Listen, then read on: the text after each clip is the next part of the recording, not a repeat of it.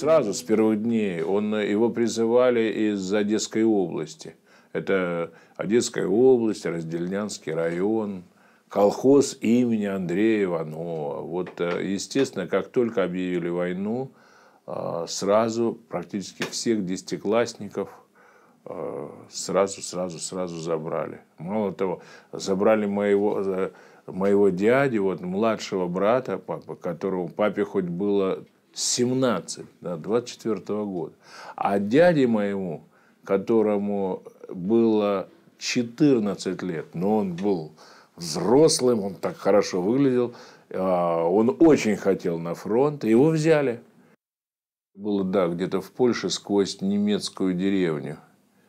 Там немцы очень плотно, плотно э, держали эту деревню, они никак не могли прорваться. И тогда, э, опять же, это мне рассказывал и папа, и его э, товарищи фронтовые.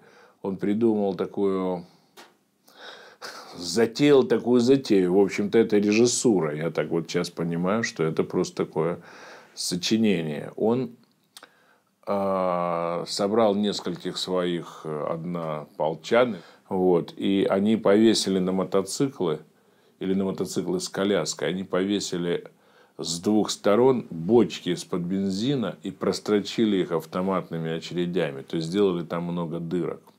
Кроме этого, они навесили, они собрали фары и навесили на каждый мотоцикл фары в местах, где они не должны быть. И вот так человек пять с автоматами вот на этих мотоциклах с этими бочками и фарами, они глубокой ночью пошли, там, ворвались в эту деревню с бешеным свистом, поскольку эти бочки свистели, с жутким светом, который бил в разные стороны. Вот, они пронеслись сквозь деревню, откуда начали выбегать немцы, начали стрелять. В общем, практически они вышли, в, вошли в тыл, что называется, и окружили. И э, таким образом э, эта деревня была, что называется, освобождена. Вот так. История была в том, что когда союзнические армии заняли Берлин, то э, решили как-то это там, естественно, они все радовались, они каким-то образом это отмечали, все это видно в хронике, все это мы знаем, читаем, рассказываем, но вот об этом я почему-то почти не читал, вот о том, о чем э, знаю по рассказам папы, не просто по рассказам, по фотографиям, по рассказам его товарищей. Там проводились мотогонки союзнических армий. И, естественно, там никаких там олимпийских чемпионов не было, а там были а, военные разведчики.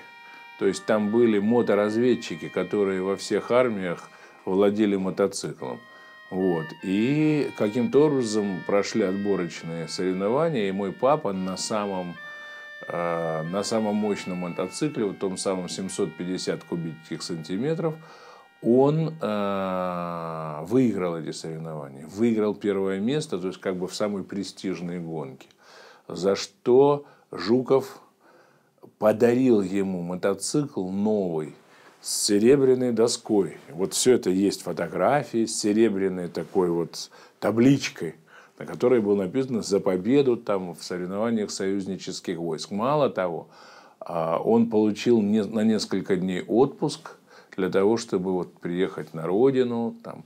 И ему предложили, а ему предложили э, в Берлине руководить такой мотошколой, то есть готовить молодых, я так понимаю, что поскольку наша армия оставалась в Берлине и оставалась в большом количестве, то как бы тут же начать готовить вот таких моторазведчиков. Даже ему квартиру успели показать. А вообще, я так о нем рассказываю, ему в этот момент был 21 год. Даже еще не исполнился 21 год.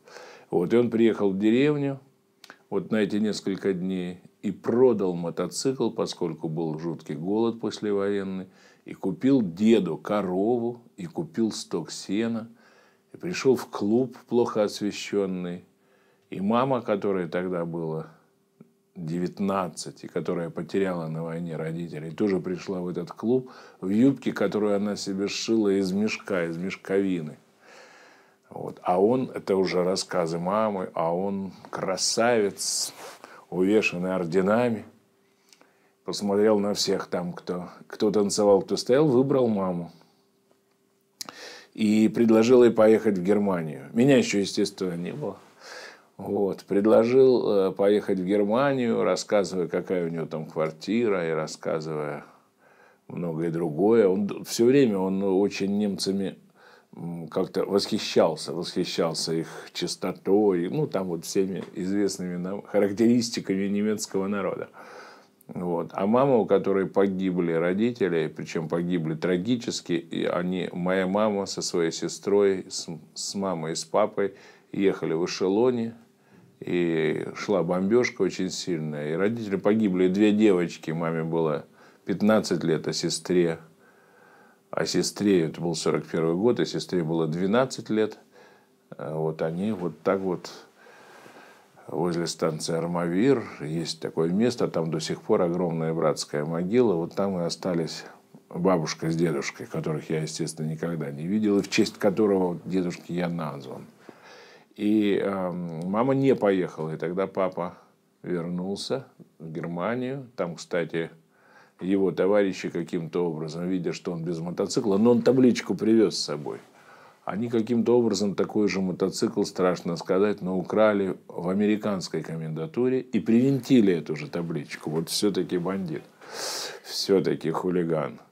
И он еще какое-то время на этом мотоцикле там поехал, а потом поездил, а потом все-таки демобилизация, вот и он вернулся да, да, да. Ну, естественно, они встретили победу в Берлине. Конечно, они встретили победу в Берлине. Они уже понимали, что победа. Там же было как бы две победы. Было вот это 8 мая, а потом 9 мая, когда мы объявили. Но уже вот Европа вся, и американцы, французы, англичане, они вот 8 все это праздновали. Они тогда, им казалось, что, ну, как это всегда бывает, как это было в той самой войне 12 года, вот когда страна надеется, что теперь все будет по-другому, что Европа будет другая, мир будет другой, люди будут другими, конечно же, они, тогда еще все границы были условные, конечно же, они бросались в объятия друг друга и обменивались всем, чем могли, и едой, и выпивали, и все эти там склады с немецким вином открывали, и по домам ходили – и их кормили немцы, там все перемешалось. Там и поверженные немцы, и ликующие американцы, англичане, французы. Все, все что как бы все, все, что есть такое человеческое проявление, все там было.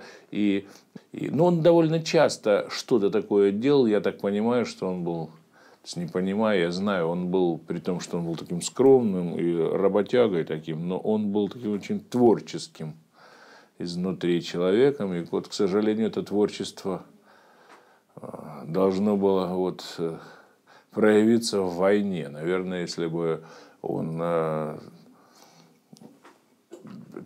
перед войной или вместо войны там, учился и изобретал автомобили или другую технику, наверное, он бы сделал это не менее талантливо. Но вот так распорядилась судьба, и и, и, и подвиги и таланты ушли в войну.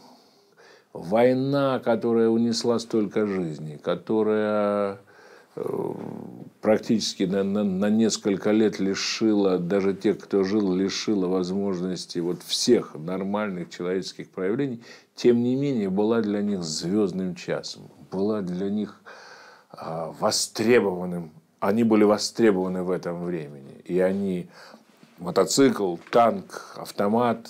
Они понимали, за что, куда, как-то ясно очень было. И, конечно, они совершенно справедливо этим гордились. И счастье, что пока мы живы, мы можем ими гордиться.